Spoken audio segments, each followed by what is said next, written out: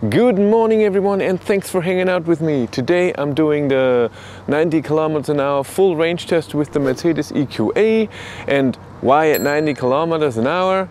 Well, 90 kilometers is an estimate average of what the normal car is being driven, city and country road and it comes very close to the WLTP range. I want to see if I can get 426 kilometers, what uh, Mercedes says EQA is capable of and I'm driving at 92 on the speedometer because that's 90 kilometers an hour GPS speed. Uh, already charged to 100%, full, we can go.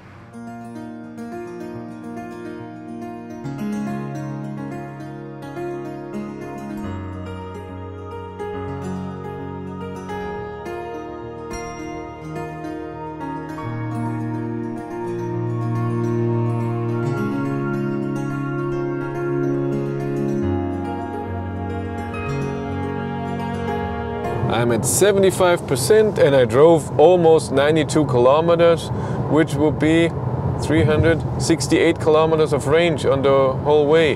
That's not very good. My, my consumption is higher than I, I thought it would be. Where are we? Here we are, 174. Average speed is good with 88 kilometers an hour. That is very good. And I have the heat off Climate is totally off.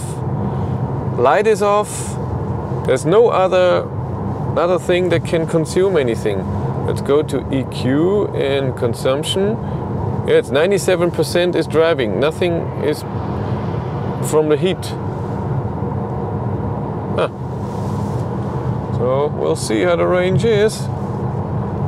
I will turn around at 50, 52, 53% because I think on the way back we have less consumption. Let's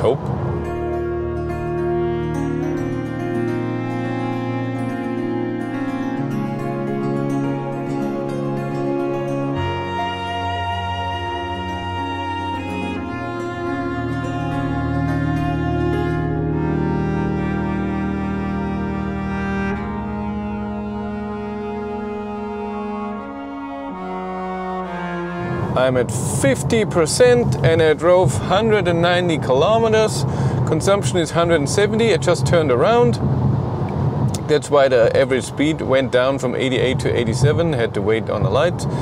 Um, it's 170 kilometers to back to home to the charger.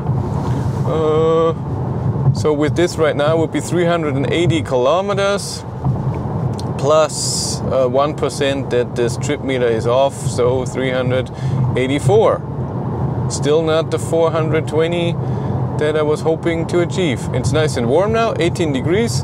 My jacket is a bit warm. Climate is on, but no AC. It's just a fan on 2 on low, so it doesn't heat and it doesn't cool. What a nice ride.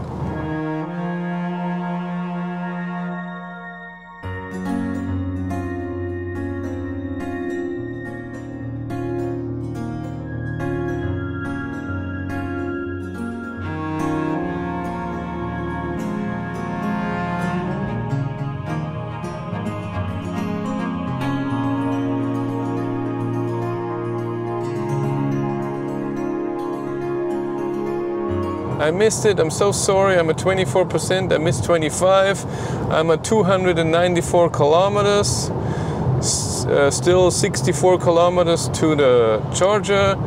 I think it's a bit less. And I have 95 kilometers of range, so there's no problem.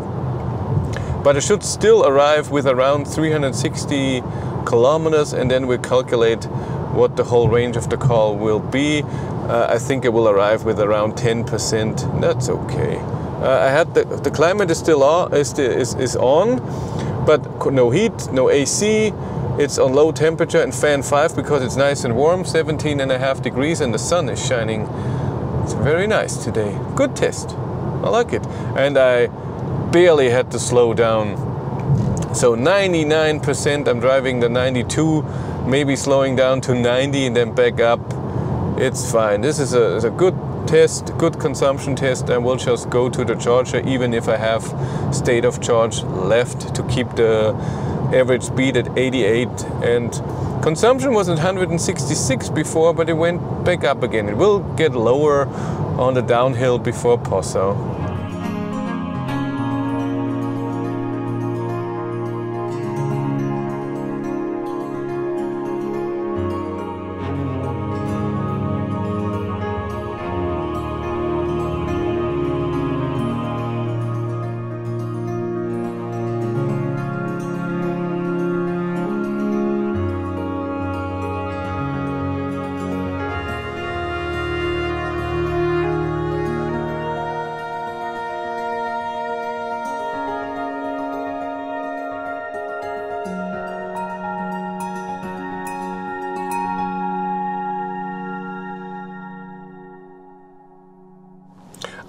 Arrived, 9% and 356.5 kilometers. I will put in what Google Maps says what the distance was. It should be 1% more than this.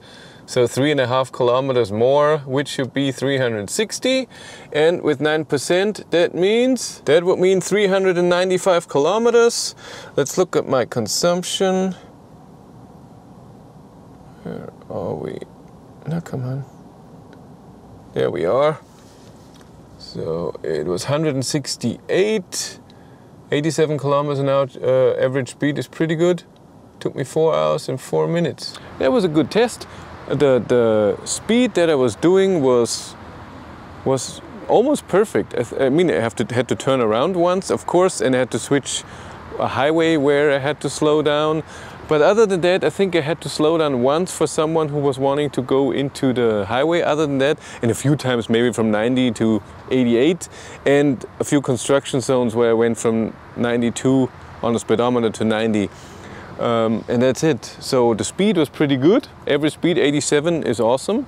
I'm okay with that. And if it's 1% off, it's almost 88. Did the 87? Ah, doesn't matter. Charging 108 kilowatt, charge 50%, then I go home. It's the last thing I filmed with this car. I already did everything else before. Um, so we are at 395 kilometers. At, and it was really good conditions. The morning was 7 degrees, yes, but now it's almost 20. It's nice and warm.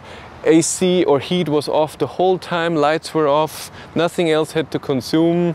And the consumption didn't go down strongly when it got warmer. So I think this is the number that you're getting not 400 kilometers, not 426 WLTP test. I'm pretty sure maybe if you drive it in the summer, so when it's in the afternoon it's 25 degrees, you get a few more, more kilometers because the air is a bit thinner. But it's okay. I think it's okay for a big SUV, but big battery, and I think the consumption is high. But that's how it is. It was still a fun fun drive. My, my bum and my back hurts a bit, but who drives four hours very slowly the whole time without getting out of the car? That's the good thing about electric cars. but that's it for me. Thank you much for watching. Have a great day and take care. Bye.